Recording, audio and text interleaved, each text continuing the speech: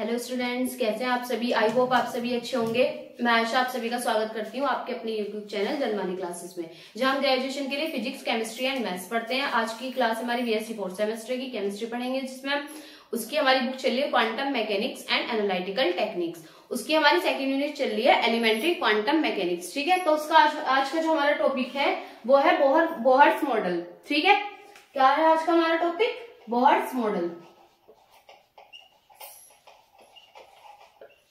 Bohr's model Bohr's ने जो model था ये 1920 1913 में दिया था बॉर्स ने मॉडल हाइड्रोजन एटम के लिए। ठीक है? उन्होंने हाइड्रोजन एटम के लिए ये बॉर्स मॉडल दिया था। ठीक है? तो उन्होंने क्या कहा था इस मॉडल में? कि जो इलेक्ट्रॉन है हाइड्रोजन एटम का। हाइड्रोजन एटम का जो इलेक्ट्रॉन है, एक सर्कुलर पाथ में वो क्या करता है? सर्कुलर पाथ में न्यूक्लियस के चारों ओर वो घूमता रहता है। ये हमारा न्यूक्लियस है, इसके चारों ओर इलेक्ट्रॉन हमारा एक सर्कुलर पाथ में फिक्स्ड रेडियस के साथ और फिक्स्ड एनर्जी के साथ घूमता है। ठीक है, ये बात बताई थी। फिर उन्होंने क्या कहा था? कि जब इलेक्ट्रॉन हमारा फिक्स फिक्स रेडियस और फिक्स एनर्जी के साथ सर्कुलर पाथ के चारों ओर राउंड करेगा तो उस टाइम जो उसकी एनर्जी वो कोई ना तो कोई एनर्जी एब्जॉर्ब करेगा और ना ही कोई एनर्जी वो इमिट कर रहा होगा, ठीक है? क्योंकि वह फिक्स रेडियस के साथ सर्कुलर सर्कुलर कर रहा होगा न्यूक्लियस के चारों ओर। तो इस टाइम इसकी जो एनर्जी होगी, ना तो वो एब्जॉर्ब कर रहा होगा, ना वो इमिट कर रहा होगा, ठीक? फिर उसके बाद उन्होंने क्या कहा कि टाइम तो नहीं करेगा बट अगर हम उसे कोई एक्सटर्नल एनर्जी दे दें, बाहर से कोई एनर्जी दे दें तो उसके बाद क्या होगा कि वो अपनी लोअर एनर्जी से, पहले वो शुरू में वो लोअर एनर्जी में ही तो रहेगा, जब जिस टाइम वो एनर्जी को एब्जॉर्ब नहीं करेगा, ना इमिट कर रहा होगा तो वो लोअर लोअर एनर्जी में रहेगा लोअर एनर्जी लेवल में। तो क्या कहा उन्होंने कि जब इसे हम बाहर से एक्सटर्नल एनर्जी देंगे तो वो लोअर एनर्जी से हाइयर एनर्जी में चला जाएगा। ठीक है? तो उस टाइम जब वो लोअर से हाइयर में जा रहा होगा तो एनर्जी क्या कर रहा होगा? एब्जॉर्ब कर रहा होगा। जब उसे बाहर से एनर्जी मिली, उसने एब्जॉर्ब करी लोअर से वो हाइयर में चला गया, ठीक है? लोअर से हाइयर में चला गया। फिर उसके बाद क्या करा उसने? फिर जब वो यहाँ चला जाएगा तो वो कुछ समय तक, कुछ समय वहाँ रुकेगा, फिर उसके बाद वो वापस हाइयर से लोअर में आ जाता है लोअर एनर्जी लेवल में। हाई क्या करके? एनर्जी को इमिट करके एनर्जी को इमिट करके हाइयर से लोअर में आ जाता है, ठीक है? तो इस तरीके से जब हम उसे एक्सटर्नल एनर्जी लेंगे तो क्या करेगा? एक लोअर से हाइयर में चला जाएगा, फिर हाइयर से लोअर में जाएगा, ठीक है? एनर्जी को इमिट करके, ठीक? फिर उसके बाद उन्होंने क्या कहा कि जब एनर्जी का, इन दोनों के बीच क्या हो गया? ये एनर्जी का डिफरेंस हो गया ना? जब जब वो लोअर में जा रहा है, वो लोअर से हाइयर में जा रहा है तो इवन लोअर में उसकी मान लो एनर्जी है इवन ठीक है? और हाइयर में जा रहा है तो उसकी एनर्जी हो गई ई टू तो इन दोनों का जो डिफरेंस है, वो क्या होगा? Delta E delta is equal to E two minus E one ठीक है? इन दोनों का एनर्जी डिफरेंस हो गया। कि इस एनर्जी को जब वो क्या करेगा? जब वो इसी एनर्जी को, जब वो लोअर से हाइयर में जाएगा तो इतनी एनर्जी वो एब्जॉर्ब करेगा। और जब हाइयर से लोअर में आएगा तो इतनी एनर्जी को वो इमिट करेगा। डेल्टा ई इक्वल ठीक है? तो उन्होंने ये बताया था ठीक है? क्या कहा था उन्होंने कि डेल्टा ई का उनका एनर्जी का डिफरेंस होगा। डेल्टा ई एनर्जी वो एब्जॉर्ब करेगा जब वो ई वन से ई टू में जाएगा और डेल्टा ई एनर्जी को वो इमिट करेगा जब वो ई टू से ई वन में आएगा ठीक है? फिर उन्होंने क्या कहा था कि क्या कहते हैं जो डेल्टा ई e, दो एनर्जी लेवल के बीच का जो डिफरेंस है जिनके बीच ये ये होता है हमारा ट्रांजिशन जब क्या होता है लोअर एनर्जी लेवल से इलेक्ट्रॉन हाइयर में जाता है यानी कि एक एनर्जी लेवल से दूसरे एनर्जी लेवल में जाना इलेक्ट्रॉन का वो हमारा ट्रांजिशन कहलाता है ठीक है? तो क्या होगा कि जब इन दो एनर्जी लेवल के बीच डेल्टा ई एनर्जी लेवल के बीच क्या होगा? ट्रांजिशन होगा। तो जो फ्रिक्वेंसी होगी, जो वो एब्जॉर्ब कर रहा होगा या इमिट कर रहा होगा, ठीक है? तो उसकी इन्होंने वैल्यू बताती थी। उसकी वैल्यू इन्होंने बताई थी कि nu is equal to E two minus E one upon h इस फ्रीक्वेंसी की रेडिएशन को वो एब्जॉर्ब करेगा या फिर इमिट करेगा। ठीक है? क्योंकि जो हमारी एनर्जी है, वो हम इलेक्ट्रोमैग्नेटिक रेडिएशन की फॉर्म में दे रहे होंगे। ठीक है? इलेक्ट्रोमैग्नेटिक रेडिएशन की फॉर्म में दे रहे होंगे तो इलेक्ट्रोमैग्नेटिक रेडिएशन की फ्रीक्वेंसी भी होती है, हमें पता है। Is equal to h nu हमने प्लांक प्लांक्स क्वांटम थ्योरी में पढ़ी थी। किसी फोटोन की जो एनर्जी होती है, वो किसकी इक्वल होती है? इजिकल टू एच न्यू की। ठीक है? तो न्यूज़ में फ्रीक्वेंसी थी तो ये बताया उन्होंने कि इस फ्रीक्वेंसी की क्या करेगा वो? जब वो इतनी फ्रिक्वेंसी की या तो एनर्जी को इमिट करेगा या फिर एब्सॉर्ब करेगा, ठीक है? जब हम उसे एनर्जी देंगे ई वन से ई टू में जाने के लिए तो इतनी फ्रिक्वेंसी की वो एनर्जी को एब्सॉर्ब करेगा। और जब ई टू से ई वन में आएगा तो इतनी फ्रिक्वेंसी की एनर्जी को वो इमिट कर रहा होगा, ठीक है? तो ये फ्रीक्वेंसी की बताती थी, इसलिए इसे ही उन्होंने क्या इसे बोहर्स का फ्रिक्वेंसी रूल फ्रिक्वेंसी रूल भी बोलते हैं, ठीक है? इसे। Nu is equal to E two minus E one upon h को ठीक? एक क्या कहा था उन्होंने एक पॉइंट था उनका कि जो एंगुलर मोमेंटम होता है, किसी इलेक्ट्रॉन का, वो क्या होता है? वो फिक्स्ड वैल्यू के इंटीग्रल मल्टीपल के इक्वल होता है, ठीक है? यानी कि जो इलेक्ट्रॉन होगा, वो उसी सेल में, वही सेल उसी सेल में सेल में पाया जाएगा, जिसमें उसका angular momentum h upon two pi के इंटीग्रल इंटीग्रल मल्टीपल के इक्वल होगा। ठीक, इंटीग्रल मल्टीपल, मैंने आपको पिछले लेक्चर्स में बताया था कि एनर्जी जो होती है क्वांटम थ्योरी जब पढ़ाई थी आपको प्लांट्स की तो उसमें मैंने आपको एक्सप्लेन किया था क्वांटाइजेशन एक टर्म तो क्वांटाइजेशन क्या होती है? कि जो हमारी फिक्स्ड वैल्यू होती है, हम उसके मल्टीपल में ही किसी चीज़ को जब वो कर देते हैं, उसके मल्टीपल कर देते हैं। जैसे मैंने आपको वो हंड्रेड वाला एग्ज़ाम्पल दिया था। जो होती है वो हमारी क्वांटाइजेशन होती है। यानी कि मैंने आपको जैसे सौ वाला, सौ रुपए वाला एग्ज़ाम्पल दिया था तो उसमें क्या था कि मेरे पास सौ सौ रुपए थे। तो मैं मैं उनके मल्टीपल तो दे सकती हूँ बट उनके क्या कहते हैं डेसिमल या फ्रैक्शन में उन्हें नहीं दे पा रही थी। क्योंकि मेरे पास मेरे पे जो फिक्स्ड वैल्यू थी, वो क्या थी? या मतलब मेरे पे फिक्स्ड करेंसी जो थी, वो हंड्रेड की थी। तो मैं उसके मल्टीपल में ही दे रही थी। यानी कि जैसे किसी ने मुझसे पाँच मांगे तो मैंने पाँच दे दिए पाँच नोट दे दिए इसके हंड्रेड के, ठीक है? छह सौ मांगे तो छह नोट दे दिए इस टाइप से। तो मैंने फिक्स्ड वैल्यू के मल्टीपल में दी। तो जो हमारा एंगुलर मोमेंटम होता है किसी इलेक्ट्रॉन का, वो क्या होता है? फिक्स्ड वैल्यू के मल्टीपल के इक्वल होता है। ठीक है? इंटीग्रल मल्टीपल के। तो उन्होंने बताई थी एंगुलर मोमेंटम की value angular momentum MVR is equal to n h upon two pi ये एंगुलर मोमेंटम की वैल्यू बता दी थी। कि उसी उसी शेल में इलेक्ट्रॉन जो होगा वो हमारा एग्जिस्ट करेगा, जिसका angular momentum integral value value के मल्टीपल के इक्वल होगा। ठीक है? ये हमारी फिक्स्ड वैल्यू है एच अपॉन टू पाई इसके इंटीग्रल मल्टीपल के इक्वल होगा। ठीक है? एंगुलर मोमेंटम तो देखो एंगुलर मोमेंटम समझते हैं। एंगुलर मोमेंटम क्या होता है? नॉर्मली हमारा जो मोमेंटम होता है, वो क्या होता है? एम इंटू वी जो हमारा नॉर्मली मोमेंटम होता है, इसे हम लीनियर मोमेंटम भी बोलते हैं। मोमेंटम इसे क्या भी बोलते हैं लीनियर मोमेंटम रेखीय संवेग. लीनियर मोमेंटम ठीक है? तो लीनियर मोमेंटम क्या होता है?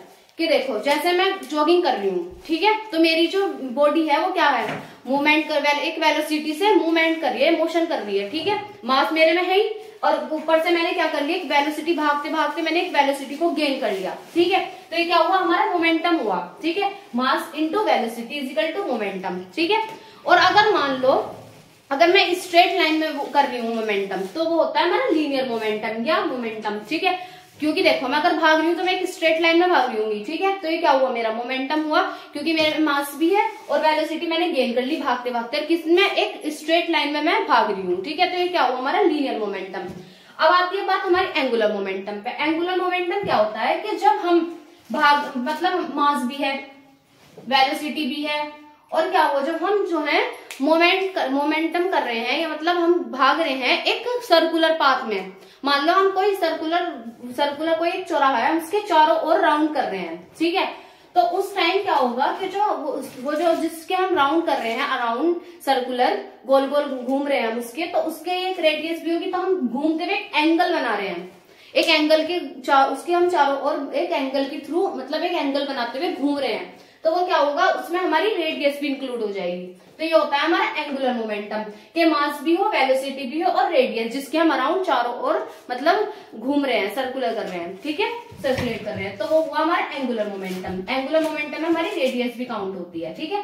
क्योंकि हम एक सर्कुलर पाथ में घूम रहे हैं। अगर हम स्ट्रेट लाइन में घूम रहे हैं तो लीनियर मोमेंटम और अगर हम सर्कुलर पाथ के चारों ओर मूवमेंट कर रहे हैं मोशन कर रहे हैं तो वो क्या हो गया हमारा एंगुलर मोमेंटम ठीक है?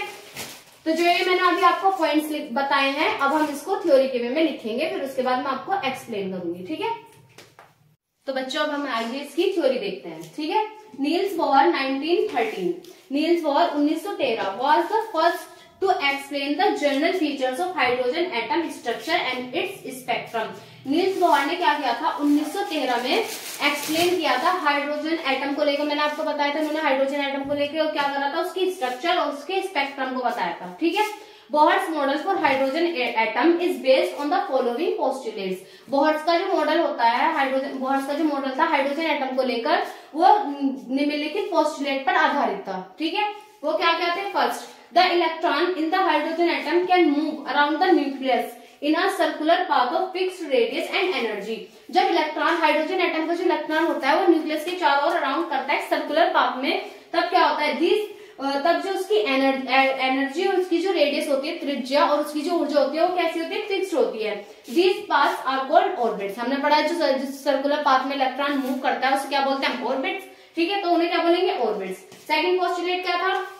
The electron revolve around the nucleus in certain orbits Jin orbits में इलेक्ट्रॉन हमारा न्यूक्लियस के चारों ओर क्या कर रहा है सर्कुलेट कर रहा है विदाउट लूजिंग एनी एनर्जी तो उस टाइम वो क्या करेगा?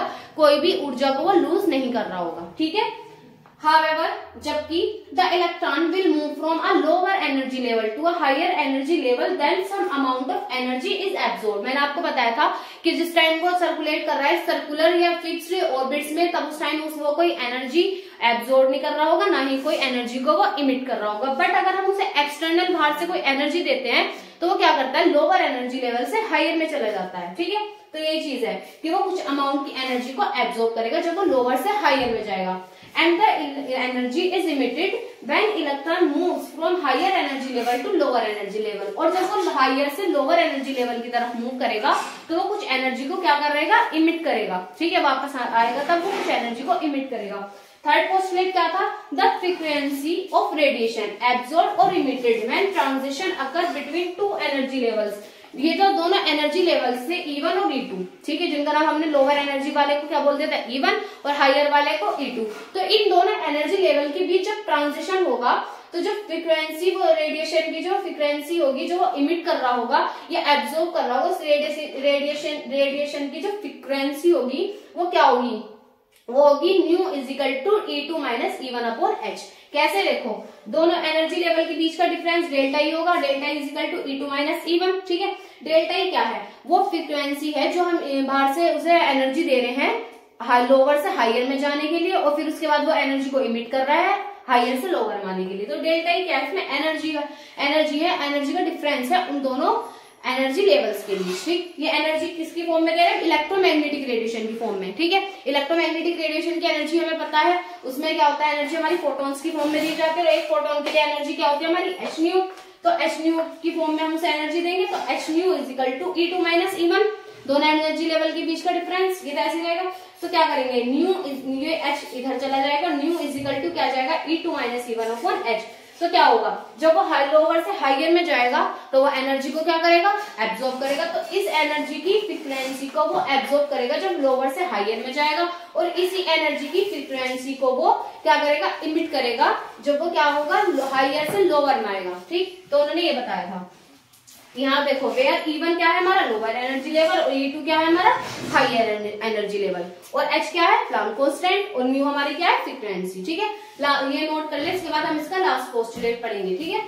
चलिए, आगे उससे आगे देखते हैं। जो अभी हमने तीन पोस्टुलेट पढ़े लास्ट पोस्टुलेट देखते हैं उसका। देखो, जो हमने अभी क्या पढ़ा था? अभी हमने nu is equal to E two minus E one upon h जो वो पढ़ा था रिलेशन या एक्सप्रेशन उसे क्या बोला था? बोहर्ट फ्रीक्वेंसी रूल उसे बोहर्ट का आवृत्ति नियम भी बोला जाता है, ठीक है? फोर्थ पोस्टुलेट क्या था हमारा the angular momentum of electron in a given energy level can be express as energy level का जो एनर्जी लेवल है, उनमें इलेक्ट्रॉन का जो एंगुलर मोमेंटम होना चाहिए, वो कितना होना चाहिए? M v r is equal to n h upon two pi जहाँ एन क्या है? एन जो होता है, हमारा मैंने बताया था आपको, एक इंटीजर होता है, ठीक है? इंटीजर जैसे वन टू थ्री जो वैल्यूज़ होती है हम इंटीजर बोलते हैं। तो हमारी जो नंबर ऑफ़ सेल्स होती हैं, या एन को हम नंबर ऑफ़ सेल्स भी बोल सकते हैं यहाँ पर। तो जो नंबर ऑफ़ सेल्स होती है, हम जानते हैं हमारी जो नंबर ऑफ़ सेल्स होती है, वो हमेशा इंटीजर ही होती है, यानी कि वन टू थ्री कभी ऐसा थोड़ी हुआ कि हमारी नंबर ऑफ़ सेल्स डेढ़ है, या ढाई है तो ऐसा तो नहीं हुआ? या ऐसा होता भी नहीं इम्पॉसिबल है ऐसा, ठीक है? तो जो नंबर ऑफ़ सेल्स होती है, वो कैसी होती है? इंटीजर होती है इंटीजर वैल्यू में होती है, ठीक है? तो हम एन को यहाँ पर नंबर ऑफ़ सेल्स भी बोल सकते हैं, ठीक है? तो अगर जैसे हमें किसी शेल का एंगुलर मोमेंटम निकालना हो तो हम क्या करेंगे? यहाँ उसकी वैल्यू रख देंगे। जब फ़र्स्ट सेल का एंगुलर मोमेंटम निकालना है तो फ़र्स्ट सेल का जो एंगुलर मोमेंटम आएगा, वो क्या आएगा? देखो वन वन फ़र्स्ट सेल है तो one into h upon two pi तो क्या आ गया? फ़र्स्ट सेल के लिए angular momentum h upon two pi ठीक है? तो मैंने आपको क्या बताया था कि जो एंगुलर मोमेंटम की जो वैल्यू होती है, वो क्या होती है? इस इंटीजर के मल्टीपल के इक्वल होती है। इंटीजर के मल्टीपल के इक्वल जैसे एन हमारे नंबर ऑफ़ सेल्स हो गया, हमने इसकी वैल्यू वन रखी। तो एच अपॉन टू पाई आएगी तो इसके मल्टीपल में आएगी फिक्स्ड वैल्यू होगी, जो fixed value h upon two pi होगी, इसके मल्टीपल में आएगी, ठीक है? तो देखो, अगर हम दूसरी सेल के लिए निकालेंगे एंगुलर मोमेंटम तो क्या जाएगा? दूसरी सेल है तो नंबर ऑफ़ सेल्स टू रख दिया हमने, मान लो एच अपॉन टू पाई ठीक है? तो क्या हो गया?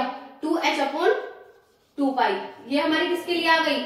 सेकेंड शेल का एंगुलर मोमेंटम ये मैं आपको बस अभी बिना वैल्यू के बताया है कि एंगुलर मोमेंटम हमारा किस तरीके से मल्टीपल रेशियो में होता है। ये बता रही हूँ मैं। बाकी हम इसकी कैलकुलेशन भी कर सकते हैं। एच की वैल्यू रख के और टू पाई की वैल्यू रख के, ठीक है? तो उससे भी मतलब उससे हमारा एंगुलर मोमेंटम की वैल्यू निकल आएगी। बट मैं आपको क्या बता रही हूँ यहाँ पे कि जो एंगुलर मोमेंटम होता है, वो इस फिक्स्ड वैल्यू के इंटीग्रल के मल्टीपल के इक्वल होता है, ठीक है? तो देखो फ़र्स्ट शेल के लिए क्या आता है हमारा h upon two pi second shell के लिए क्या है? Two h upon two pi और जो थर्ड शेल के लिए निकालेंगे तो three h upon two pi तो देखो मल्टीपल होता गया किसका? जो हमारी फिक्स्ड वैल्यू थी एच अपॉन टू पाई के तो उसके मल्टीपल ही आता है हमारा एंगुलर मोमेंटम ठीक है, ये बात समझ आई? अब चलते हैं आगे। आगे देखो। आगे क्या है? एन इलेक्ट्रॉन कैन मूव तो इस बात से हमें क्या पता चला कि an electron can move only in those orbitals for which its angular momentum is integral multiple of h upon two pi तो हमारा जो इलेक्ट्रॉन होगा, वो उसी ऑर्बिटल में वो होगा, क्या करेगा? मूव करेगा, जिसका जो एंगुलर मोमेंटम होगा, वो एच अपॉन टू पाई के मल्टीपल होगा। ठीक है? तो ये आगे बात समझ? एच अपॉन टू पाई के मल्टीपल होगा तो उसी ऑर्बिटल में इलेक्ट्रॉन हमारा क्या करेगा? मूव करेगा। ठीक? अब आ जाओ उस पर एंगुलर मोमेंटम की मैंने आपको अभी एक्सप्लेन जो किया था, उसकी मैंने एक डेफिनेशन लिखा दी. कभी कभी वेरी शॉर्ट में पूछ लिया जाता है एंगुलर मोमेंटम की कि क्या होता है. तो उसकी definition the product of mass ठीक है? मास का प्रोडक्ट एंड वेलोसिटी मास और वेलोसिटी दोनों होंगे एंड इलेक्ट्रॉन मूविंग और जिस पाथ पे इलेक्ट्रॉन मूव कर रहा है, उसकी रेडियस भी इंक्लूड होगी. तो वो क्या होता है हमारा एंगुलर मोमेंटम ठीक है? तो क्या होगा the product of mass m in and velocity v and electron moving in a circular path of radius r around the nucleus nucleus के चारों ओर जिस पाथ पे वो मूव कर रहा है, उसकी रेडियस ठीक है? तो एंगुलर मोमेंटम इजिकल टू क्या हुआ हमारा? M into v into r ये हमारा एंगुलर मोमेंटम होता है, ठीक है? ये नोट करने, इसके बाद हम इसकी, इस मॉडल की कुछ लिमिटेशंस थी, वो पढ़ेंगे, ठीक है? तो चलिए, अब हम इसकी कुछ लिमिटेशन देखेंगे कि इसकी क्या कमियाँ थी बोहर्स मॉडल की, ठीक है? तो देखो limitation of Bohr's model first with the help of Bohr's model Bohr model की सहायता से the effect of electric field on electrons can not be explain electric field का जो इफ़ेक्ट पड़ता है इलेक्ट्रॉन्स पर, उन्होंने इस बात को एक्सप्लेन नहीं किया था। सेकंड क्या थी? With the help of this model the magnetic field cause by electrons ठीक है can not be explain electrons द्वारा जो मैग्नेटिक फ़ील्ड कोज होता है या क्रिएट होता है, उसके बारे में भी इस मॉडल ने कोई जानकारी नहीं दी थी। Third point this model was only for the hydrogen atom ये मॉडल किसके लिए था केवल? Hydrogen atoms and hydrogen like atoms या तो ये मॉडल किसके लिए था? मेनली हाइड्रोजन एटम्स या उसके जैसे एटम्स जैसे हीलियम और लिथियम ठीक है? Last point it could not explain the ability of atoms to form molecules by chemical bonds परमाणुओं से एटम एटम बनाने की जो परमाणुओं से मोलिक्यूल से मोलिक्यूल से केमिकल बॉन्ड द्वारा एटम बनाने की जो क्षमता थी या एबिलिटी थी, क्या मोलिक्यूल से केमिकल बॉन्ड द्वारा एटम बनाने की जो एबिलिटी थी, उस बार इसको भी इन्होंने एक्सप्लेन नहीं किया था, ठीक है? ये इसकी लिमिटेशन थी, ये आप नोट कर ले तो बच्चों, इस लेक्चर में इतना ही। आई होप आपको सब अच्छे से समझ आया हो। इस लेक्चर में हमने क्या पढ़ा? बहुत मॉडल पढ़ा और उसकी लिमिटेशन के, उसकी क्या कमियाँ थी, ठीक है? आपको सब अच्छे समझ आया हो? और अगर कुछ कंफ्यूजन हो या कुछ डाउट हो तो आप कमेंट सेक्शन में पूछ सकते हैं, ठीक है? वीडियो अच्छी लगी हो तो वीडियो को लाइक करें कमेंट करें शेयर करें, और मिलते हैं नेक्स्ट वीडियो के साथ. Thanks for watching